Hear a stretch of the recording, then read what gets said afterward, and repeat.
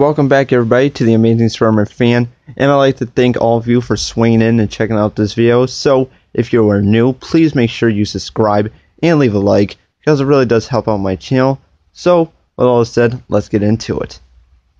So, Hasbro has shown official images for brand new Marvel Legends uh, that are coming out pretty soon, and I want to have a look at them.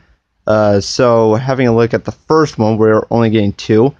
So the first one we're having a look at is White Rabbit, who looks pretty good. She comes with like this umbrella with this glowing thing at it, which I am guessing uh, is like a gun or something like that.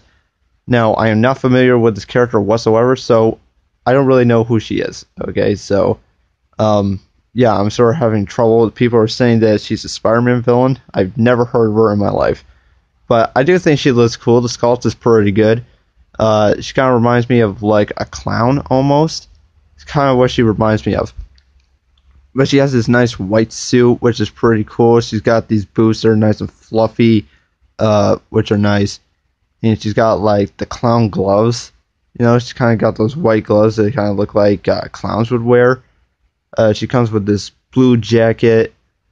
Uh, she's also sculpted a. They also got sculpted a uh, like a watch or something that's wrapped around uh, her gut area. Uh, but I do think she looks pretty good. Um, she looks nice. She's got the white mask on, and she's got the rabbit ears pointing out of her hair. I think she looks great. The articulation does look pretty good on the uh, on this figure. But moving on to someone I really really love, Doctor Otto Octavius from the Superior uh, Spider-Man line of comics, and uh, he looks awesome. I do believe this is when Doc Ock takes over Peter Parker's body. He sort of stays as Doctor Octavius a little bit. I do believe that's what he does, and uh, he sort of has his brand new suit and everything, and he just looks awesome. I really like him a lot. He's got white and, and black and green and all these colors just mixed together really, really well.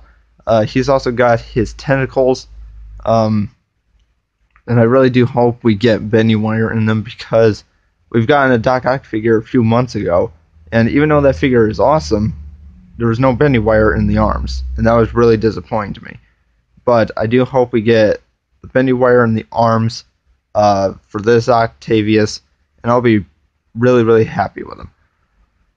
So, like I said, the colors just mix together real well. He's got like this octopus on his chest that's all green, and it just looks amazing. Really does pop. Really makes the figure look alive. It's, awesome. He's got these goggle things on that are green as well. It's just so cool. I love it a lot. It's awesome.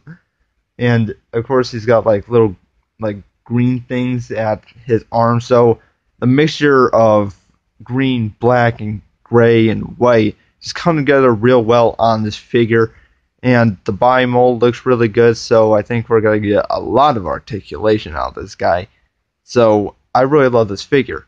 I love it a lot. So I am really impressed. The White Rabbit doesn't really impress me that much, and like I said, it's just because I don't know anything about her. Thus, she doesn't surprise me. I can't even tell you if she is a Spider-Man villain or not. Uh, that's how much I don't know about her.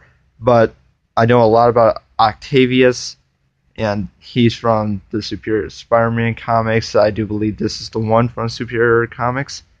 Uh, so I like him a lot. I'm a huge fan of Doctor Octavius. So I think this figure is amazing. So that's my thoughts on it. I want to hear your thoughts down in the comments below. Thank you guys for watching. I'll see you later.